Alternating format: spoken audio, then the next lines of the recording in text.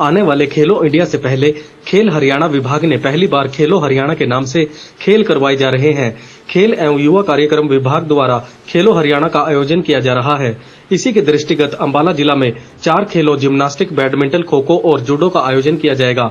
यह खेल प्रतियोगिताएँ 27, 28 व 29 अगस्त को होंगी जिसको लेकर खेल विभाग तैयारियों में जुट गया है। खेल विभाग का मानना है कि कोविड के कारण काफ़ी समय से बंद पड़ी खेलों की फिर से शुरुआत होने जा रही है। इसलिए खेल विभाग खिलाड़ियों का टैलेंट फिर से देखने के लिए ये खेल करवा रहा है, जिसको लेकर खेल विभाग तैयारियों में जुट गया है। Deputy director sports Ambala Kavita Devi ने प्रतियोगिताओं के तहत की जाने वाली व्यवस्थाओं के बारे में जानकारी देते हुए बताया कि इन प्रतियोगिताओं के तहत जूडो की प्रतियोगिताएँ, राज्य की कॉलेज अंबाला छावनी में जिम्नास्टिक की प्रतियोगिता, वार हीरोज स्टेडियम अंबाला छावनी में खो खो की प्रतियोगिताएँ, जेएमएन कॉलेज में व बैडमिंटन प्रतियोगिता सुभाष पार्क के नज़दीक बैडमिंटन हॉल में होंगी।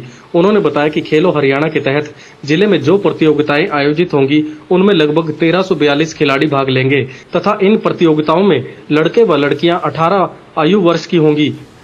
उन्होंने बताया कि खिलाड़ियों के रुकने की व्यवस्था सरकारी स्कूल में कर दी गई है और कोविड 19 की पूरी तरह से पालन किया जाएगा। और अभी हमारे हरियाणा में एक, जो खेलो इंडिया आना है, उससे पहले हरियाणा गवर्नमेंट चाहती है कि एक खेलो हरियाणा हो जाए, जिससे हमें ये भी हो जाएगा कि जो कोविड के कारण चलते हुए गेम बंद हो रखे थे, वो दोबारा से खुलने के वो हो जाएँगे रास्ते। कंपटीशन नहीं करवा पा रहे थे, बंद हो रहे थे, बच्चे प्रैक्टिस भी कम कर पा रहे थे। तो उनका एक लेवल चेक भी हो जाएगा। ऊपर से फिर उनका ये है कि न्यू जो हम टैलेंट सर्च कर रहे हैं, वो सर्च भी हो जाएगा। ये अच्छी स्कीम निकाली है सरकार ने कि खेलो हरियाणा फ़र्स्ट टाइम होने जा रहा है ये 2021 का। और आगे भी अच्छा होगा तो आगे भी करते रहेंगे इसको। क्या क्या इसकी तैयारियाँ की? आ, सर ये सताईस अट्ठाईस उनतीस सताईस से स्टार्ट है। छब्बीस को टीमें आना स्टार्ट हो जाएँगी। यहाँ पे उनका ठहरने का अच्छा किया सरकारी कॉलेज और गवर्नमेंट से स्कूल वगैरह में भी किया गया है उनका। और खाने पीने का भी उनका, उनके आसपास ही वेन्यू बनाए गए हैं। स्पोर्ट्स वेन्यू के पास ही उनका ठहरने का किया गया है ताकि बच्चों को प्रॉब्लम ना हो आने जाने में।